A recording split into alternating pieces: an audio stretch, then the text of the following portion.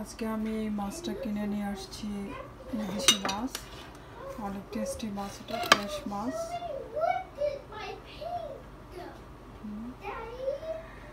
এটা এখন আমি পেঁয়াজ দিয়ে আর ঝিঙ্গে দিয়ে একটু ভাজা ভাজা করে রান্না করব, অনেকটা চচ্চড়ির মতো।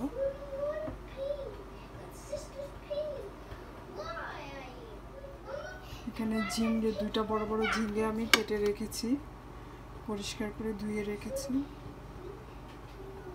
একটা পেঁয়াজ, এখানে বড় একটা পেঁয়াজ আর দুই তিন কোয়া রসুন, কাঁচামরিচ, এই যে একটা টমেটো ক্লিন করে রাখছি কেটে, আর এটা হলো ধনে পাতা। এখন আমি এই মাছটাকে আমি এখন হলুদ, লবণ, মরিচ দিয়ে ভালোভাবে মাখাবো। তারপরে এটাকে ফ্রাই করব।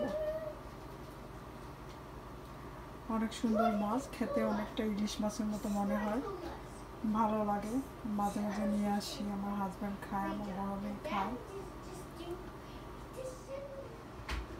হলুদ, হলুদের গুঁড়া, মরিচের গুঁড়া আর লবণ দিয়ে দিচ্ছি এখন আমি এটাকে মাখাবো ফ্রাই করার জন্য। ওদিকে আমি একটা ফ্রাই প্যান বসিয়ে দিছি, তেলও দিয়ে দিছি, গরম হইতেছে।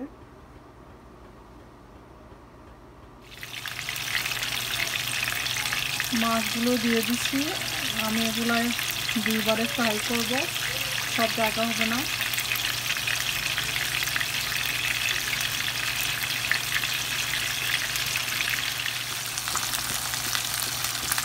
মাছটা ফ্রাই হইতেছে, কি সুন্দর একটা স্মেল বের হয়েছে মাছের, ভাজা মাছের।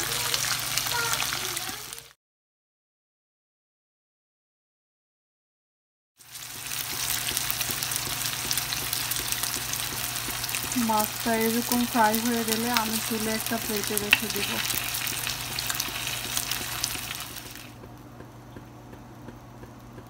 মাছ তুলে রেখে রাখলাম। এখন আমি এই সেম তেলের মধ্যে পেঁয়াজ, রসুন, কাঁচামরিচ এগুলো দিব।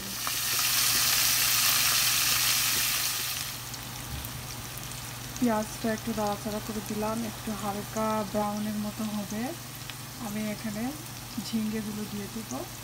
কোনো গুঁড়া মশলা দিব না। আমার মাছ বাজার মধ্যে হলুদ একটু মরিচের গুঁড়ো দিয়েছিলাম, আর কিছু দেবো না। সামান্য জিরে গুঁড়া দিব, ধনে পাতা দিব আমি।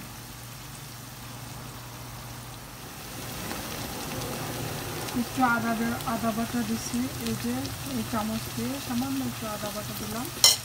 এখন একটু ভালোভাবে কষাবো আমি। পরিমাণ মতো লবণ দিয়ে দিচ্ছি আমি আমার পরিমাণ মতো দিলাম। আপনারা আপনাদের পরিমাণ মতো দিবেন। অতিরিক্ত লবণ দিলেও ভালো লাগে না, কম হলেও ভালো লাগে না। আমি অতিরিক্ত মশলাও খাই না।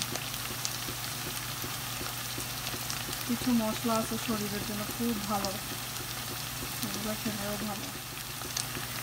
একটু সামান্য আদা বাটা দিয়ে দিলাম। এখন এটাকে ভালোভাবে কষাবো। কেটে রাখা ঝিঙ্গেগুলো দিয়ে দিচ্ছি এখন এটাকে ভালোভাবে নাড়াচাড়া করব। তারপর টমেটোটা দেবো আমি কাটা টমেটো কেটে রেখেছিলাম এটা দিয়ে দেবো।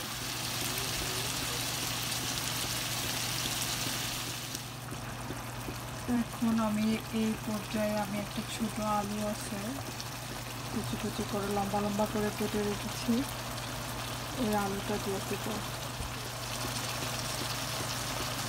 আলুটাকে ঝিঙ্গের সাথে মিশিয়ে দিব। তার সাথে সাথে আমি মাছগুলোও দিয়ে দেবো। মাছ সিদ্ধ হতে হবে। ঝিঙ্গে নাইনটি পার্সেন্ট সিদ্ধ হয়ে গেছে।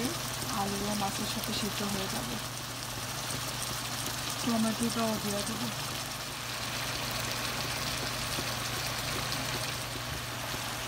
সামান্য একটু ভাজা জিরে গুঁড়ো দিলাম। আর ধনে পাতাটাও দিয়ে দিচ্ছি। মাছগুলোও দিয়ে দেবো। মাছটা দিয়ে দিছি। এখন একটু কাবার করে দিব। এক পাশ হয়ে গেলে আরেক পাশ উল্টে দিব।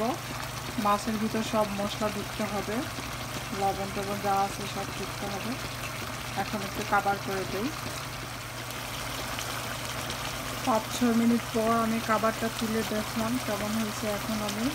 এগুলোকে একটু নাড়াচাড়া করে সবজির সাথে মিশিয়ে দেব। আমি কিন্তু কোনো পানি দিই নাই, ঝিঙ্গের পানি বের হয়েছে। হয়ে গেল আমার তরকারিটা। দেখতে অনেক সুন্দর লাগতেছে। টেস্ট করে দেখছি, খুব মজা হয়েছে, একদম পারফেক্ট